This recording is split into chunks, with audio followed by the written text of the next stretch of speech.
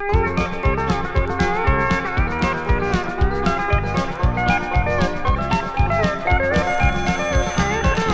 det är Studio 4. Vem är det jag talar med? Ja, det är bara jag, hörru.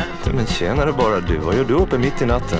Jag ligger här och lyssnar på ditt program. Jag tycker du spelar så skön musik. Tack, vad gulligt sagt av dig. Är du ensam? Ja, precis. Kan du inte spela något för mig? Ja, varför inte? Hans röst hörs känd i radion och han är populär. Han har program och spelar countrylåtar där. Folk ringer dit och snackar och får önska sig någonting. Har du en favoritlåt, tveka inte, bara ring. Någon vill höra något med Waylon, en vill höra Tom till Hall. En vill spela Willie Nelson, alla har de sin idol. Hon är nere, hon vill prata, ringer och får lite tröst. Hon är ensam, vill ha sällskap och han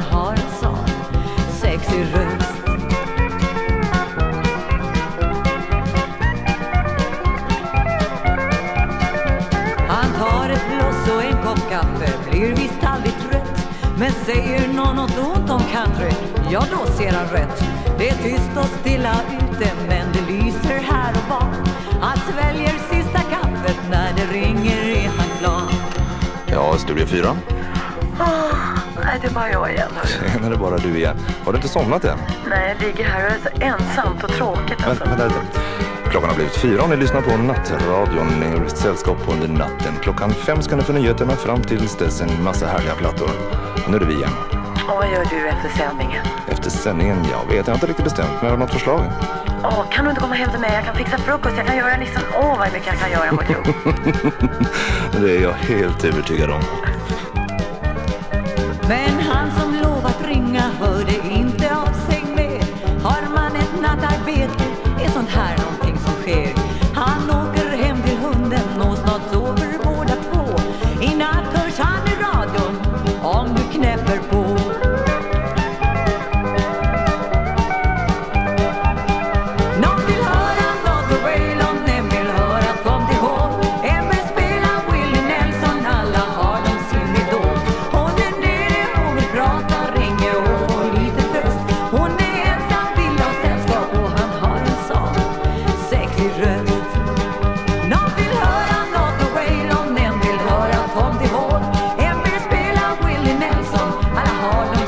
Oh.